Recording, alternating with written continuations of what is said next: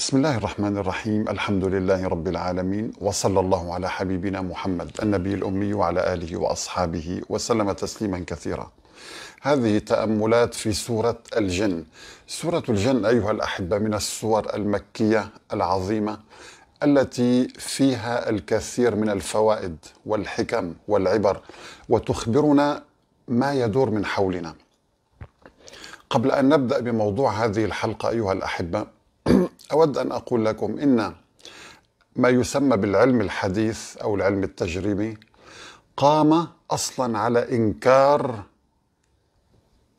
الله عز وجل. فلا تجد كلمة الله في أي بحث علمي. اذهبوا إلى المجلات العلمية الشهيرة مثل مجلة الطبيعة مجلة العلوم. اسم الله ممنوع أن يذكر غير موجود أصلا. الملائكة غير موجودة. إنكار كامل. هل رأيتم بحثا علميا يعترف أو أو يقول باحتمال وجود الملائكة؟ لا يوجد. الروح. إنكار الروح. مع العلم أن أبسط الأشياء التي يجب أن يعتقد فيها الإنسان هي الروح. وإلا كيف؟ يعني أنا أمامكم كيف أتحرك؟ وكيف أتكلم؟ وكيف يسير هذا الجسد مليارات الخلايا موجودة تعمل كلها بنظام بديع أيها الأحبة. تصوروا الدماغ فيه مئة مليار خلية يعني مئة ألف مليون خلية. كلها تعمل مثل كل خلية مثل جهاز كمبيوتر. يعني دماغك أيها الإنسان فيه مئة ألف مليون جهاز كمبيوتر في هذا الحيز الضيق وتعمل كلها بكفاءة عالية وبنفس الوقت وتعمل كلها بتوازن. طيب يقولون هذا يحدث بالمصادفة رأيتم العلم الحديث؟ يريد أن يعني يوصل رسالة معينة أن كل شيء في الكون بالمصادفة ولا يوجد إله ولا يوجد أي خالق للكون سبحانه وتعالى. فلذلك هنا القرآن يعرفنا بالحقيقة يعطينا الحقائق العلمية الصحيحة. لأنك من العبث أن تتحدث عن شيء دون أن أن تعترف بصانعه. يعني يعني أنا ألبس هذا اللباس ثم أقول هذا وجدته بالصدفة ليس له صانع. هذا الكلام عبث أيها الأحبة. إذا إنكار وجود الله إنكار الروح إنكار الرسل. يعتبرونها خرافات. طيب. إنكار الملائكة. بالإضافة لشيء مهم إنكار عالم الجن وهو عالم واسع وموجود ويتحدث ويتكاثر كما أنبأنا القرآن وعالم وهو أقدم من الإنسان. والجان خلقناه من قبل أي من قبل الإنسان من ماذا؟ من نار السموم. إذا الجن خلق من نار فهو يتفوق بإمكانياته على الإنسان. حتى إن إبليس عندما أمره الله بالسجود قال أنا خير منه.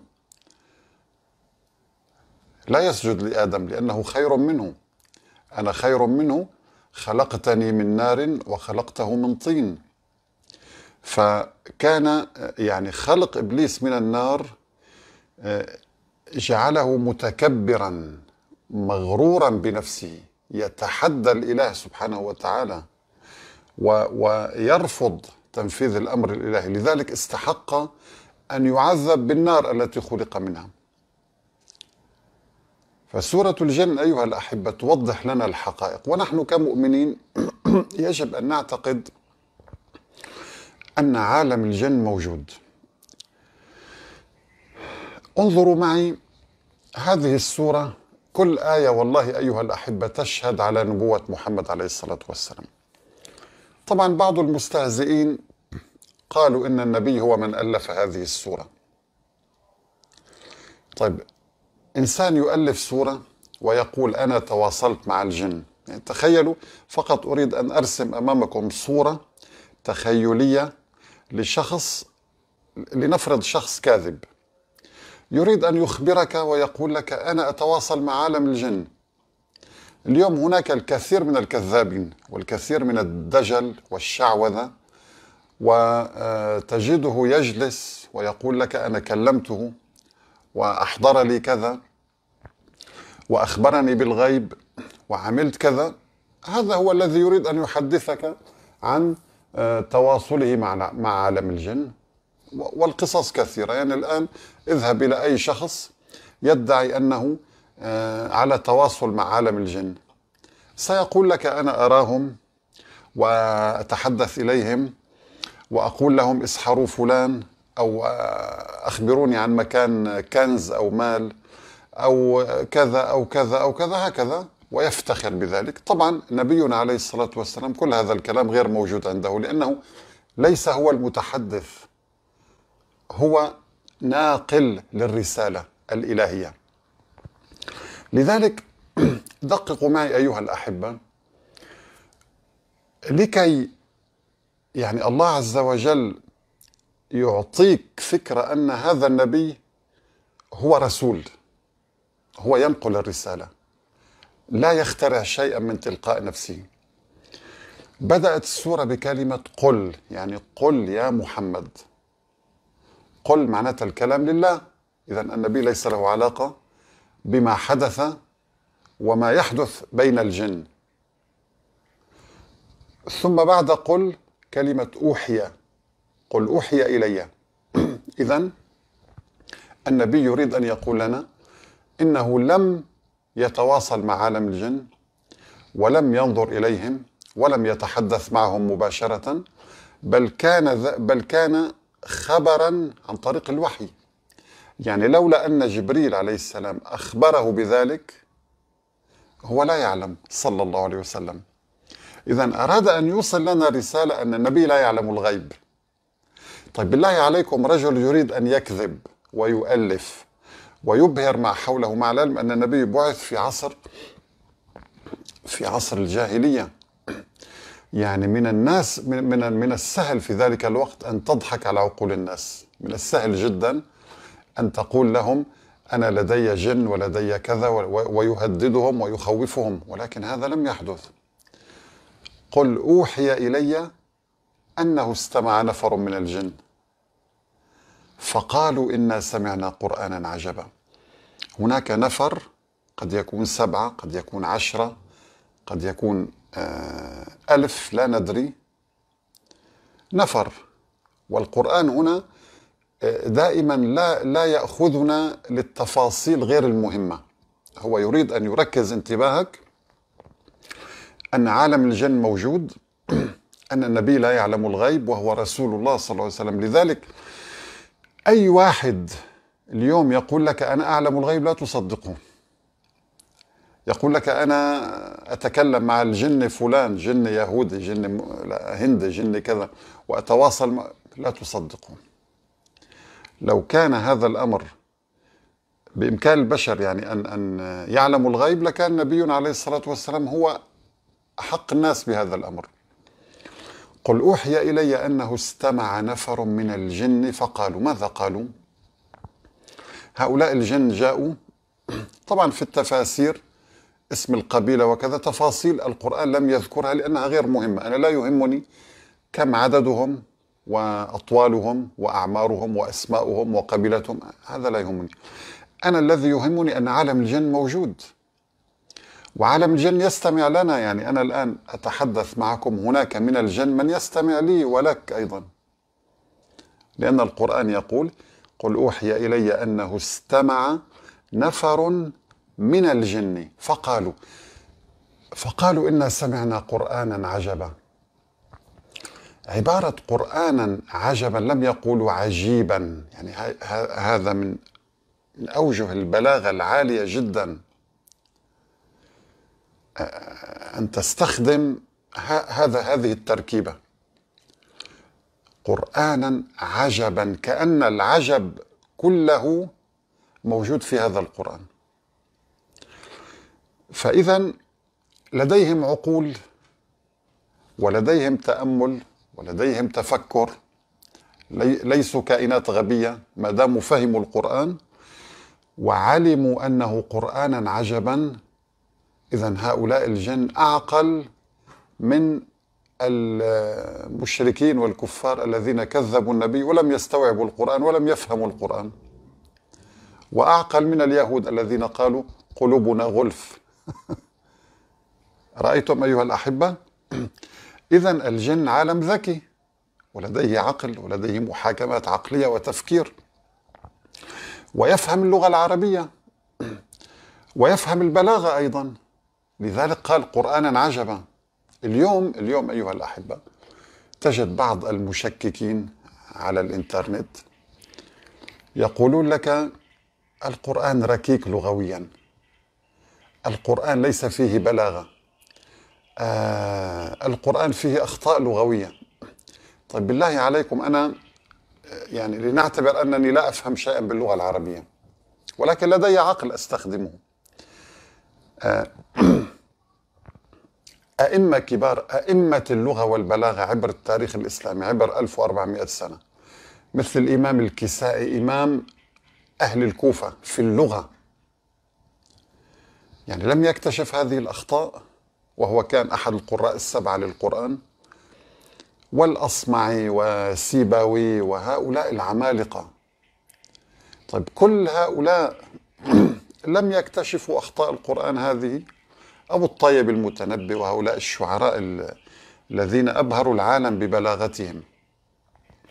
ولا واحد منهم انتبه أن القرآن ركيك مثلا. يعني يأتي شخص بعد 1400 سنة يقول إن القرآن فيه أخطاء لغوية. لذلك يعني وللأسف تجد أن كثير من الناس يتبع هؤلاء ويصدقونهم دون أن يستخدموا عقولهم. لذلك أنت أخي الحبيب إذا أردت أن آه، تقتنع بكلام الملحدين. أول شيء يجب أن تلغي عقلك. تلغي عقلك ستكون مسرورا معهم. أما إذا شغلت عقلك لن تقتنع. يعني يعني عندما يقولون لك إن الكون كله يعمل بالمصادفة. والإنسان دماغ الإنسان والكائنات وهذا الإبداع كله بالمصادفة. طيب أين العقل؟ مهم أيها الأحبة قل أوحي إلي أنه استمع نفر من الجن فقالوا إنا سمعنا قرآنا عجبا. يهدي إلى الرشد يهدي إلى الرشد. أدركوا من خلال استماعهم لآيات القرآن أن هذا القرآن يهدي إلى الرشد. طيب اليوم نحن من خلال أبحاث ودراسات الإعجاز العلمي في القرآن الكريم وجدنا شيء عجيب أن كل أوامر القرآن تهديك للخير وللسلامة والسعادة والصحة الجيدة والطمأنينة. وكل النواهي التي نهى عنها القرآن أي الأشياء التي أمرك أن تبتعد عنها مثل الخمر والزنا وكذا كلها لابد أن تسبب الشر. والأمراض والاكتئاب والأمراض النفسية والأمراض المنقولة جنسيا إلى آخره. إذا هذا القرآن يهدي إلى الرشد إلى الحياة الرشيدة الهادئة المطمئنة. قل أوحي إلي أنه استمع نفر من الجن فقالوا إنا سمعنا قرآنا عجبا. يهدي إلى الرشد فآمنا به ولن نشرك بربنا أحدا. إذا هؤلاء الجن كانوا أعقل بكثير من البشر. إذا عالم الجن فيه آه نفر أو فيه يعني جن مؤمن. وإيمانه قد يتفوق على إيمان البشر. لأنهم من المرة الأولى سمعوا اقتنعوا و آه، يعني آه، آمنوا بالله سبحانه وتعالى. فآمنا به ولن نشرك بربنا أحدا. هنا أنا أود أن أقول يعني لمحة بسيطة في تدبر هذه الآية. قل أوحي إلي أنه استمع استمع لم يقل سمع استمع. نفر من الجن فقالوا إن استمعنا. لا قالوا إن سمعنا. طيب هنا تغير الفعل. من استمع إلى سمع. طيب هذا يدعوني للتفكير. لماذا؟ يعني قل أوحي إلي أنه استمع نفر من الجن فقالوا إن سمعنا. يعني مرة استمع ومرة سمع. لماذا؟ في المرة الأولى استمع وفي المرة الثانية سمع. سأقول لكم أيها الأحبة الآن لو كان هناك. شخص يتحدث باللغة الصينية مثلا وهو يتكلم كلنا نستمع له صح؟ إذا قضية الاستماع هنا لا تعني الفهم أنت قد تستمع لكن لا تفهم شيئا العلماء استمعوا إلى ذبذبات تصدر من النمل ذبذبات صوتية تم قياسها بأجهزة قياس دقيقة مكبرات دقيقة جدا واستخدموا يعني أجهزة لقياس هذه أو لتسجيل هذه الذبذبات الصوتية ترددات صوتية دقيقة. ولكن هم استمعوا ولكن لم يفهموا إذا لم يسمعوا. لاحظتم أيها الأحبة؟ لذلك في القرآن يقول لك آه، وقالوا سمعنا وأطعنا إذا سمعنا يعني بعد أن استمعنا فهمنا كلام الله ووعينا هذا الكلام واقتنعنا به لذلك أطعنا. سمعنا وأطعنا.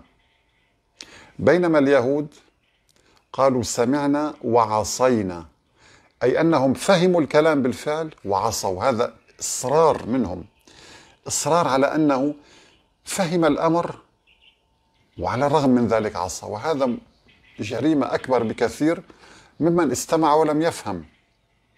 يعني أنت قد تستمع لشخص مجرم يتحدث باللغة الصينية مثلا يتحدث عن جريمة ولكن أنت لا لم تفهم شيئا.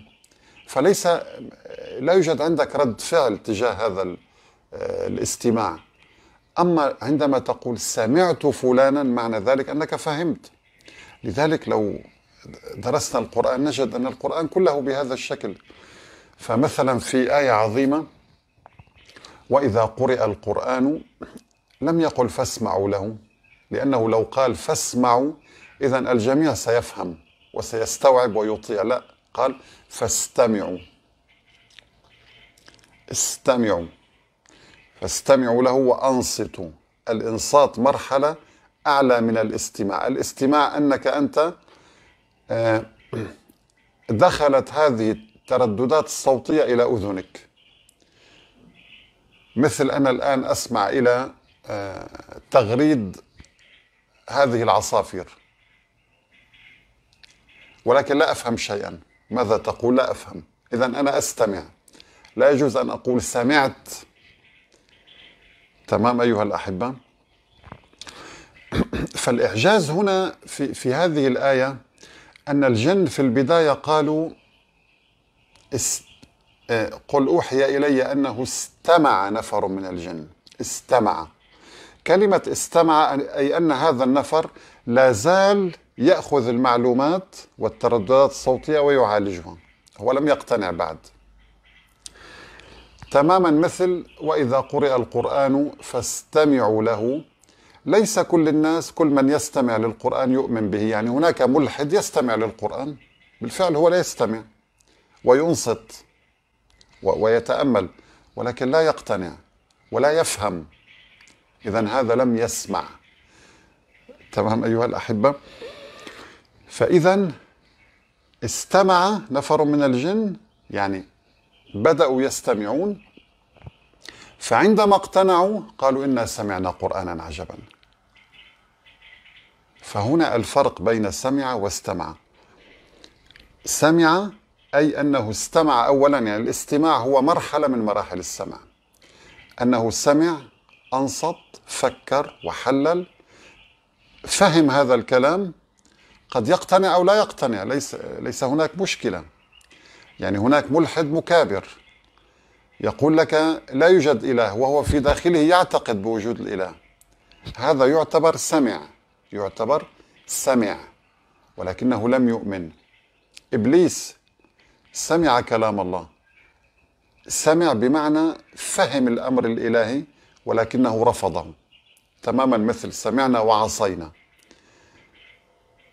إذا هذه دقة عجيبة على مستوى الحرف في القرآن الكريم. قل أوحي إلي أنه استمع نفر من الجن فقالوا إن سمعنا قرآنا عجبا يهدي إلى الرشد فآمنا به ولن نشرك بربنا أحدا. أيها الأحبة سأقف عند هذا الحد. أستكمل معكم إن شاء الله روائع سورة الجن في اللقاء القادم. والسلام عليكم ورحمة الله تعالى وبركاته.